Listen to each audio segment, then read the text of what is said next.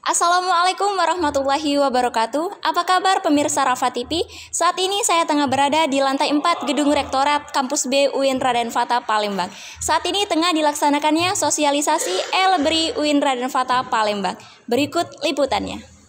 Sosialisasi e-library di era digital dilaksanakan di Gedung Rektorat Kampus B UIN Raden Fatah Palembang pada Rabu 7 Juni 2023. Kegiatan ini diawali dengan doa bersama sekaligus menyanyikan lagu Indonesia Raya dan Mars Uwin Raden Fatah Palembang. Acara ini dibuka langsung oleh Ketua Biro AUPK Uwin Raden Fatah Palembang yang dihadiri oleh Ketua Perpustakaan, Manajer Marketing PT 6 Kubuku Indonesia, dosen, serta mahasiswa dari setiap fakultas. Satria Gamala SIP selaku manajer marketing PT 6 Kubuku Indonesia sekaligus narasumber berharap dengan adanya sosialisasi penggunaan e-library di era digital ini bisa memberikan kesadaran pada mahasiswa agar memanfaatkan perpustakaan digital dengan baik. Mewujudkan penggunaan e-library di era digital saat ini.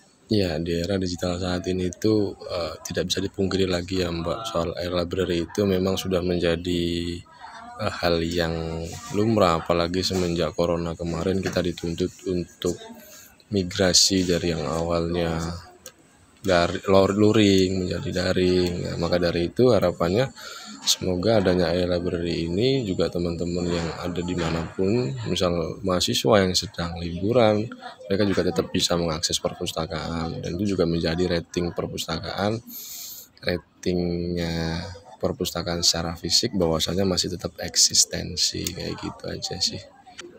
Uh, harapan kita dengan adanya sosialisasi penggunaan aplikasi e-library Win Raden Patah Palembang ini uh, diharapkan ke depannya uh, para mahasiswa dapat memaksimalkan penggunaan aplikasi ini sehingga dapat menunjang keberhasilan studi para mahasiswa di Win Raden Patah Palembang.